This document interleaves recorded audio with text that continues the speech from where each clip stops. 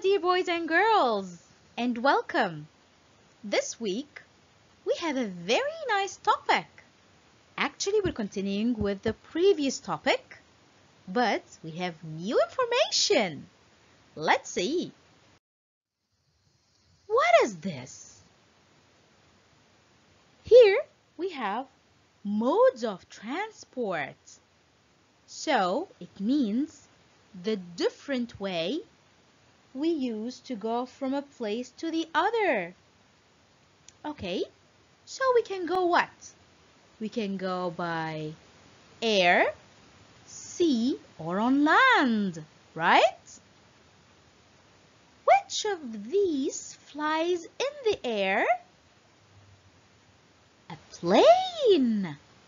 A plane flies in the air. Can you point to one of these that travels on water?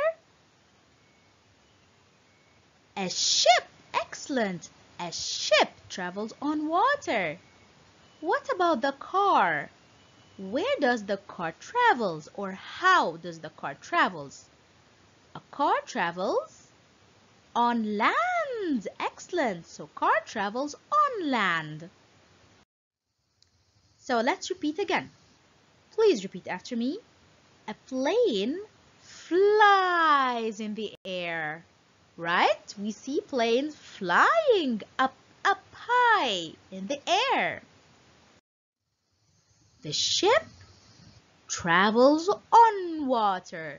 A ship, a boat, a felucca, they all travel on water.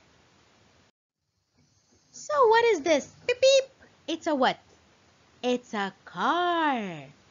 So a car travels on land. What else travels on land?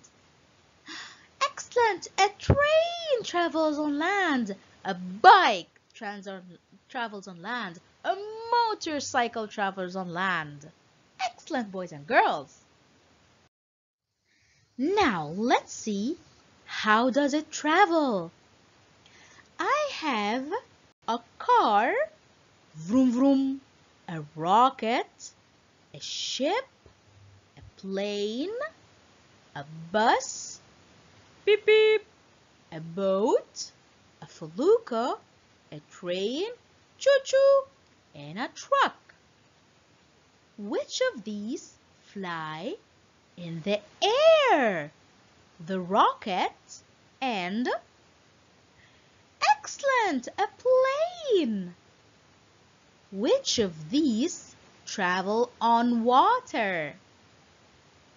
Ship. What else? Boat. And felucca. Excellent! What about land? Which of these travel on land? Car. Vroom vroom bus. Beep beep. Train. Choo choo. And a truck. So now we know different types of transportation.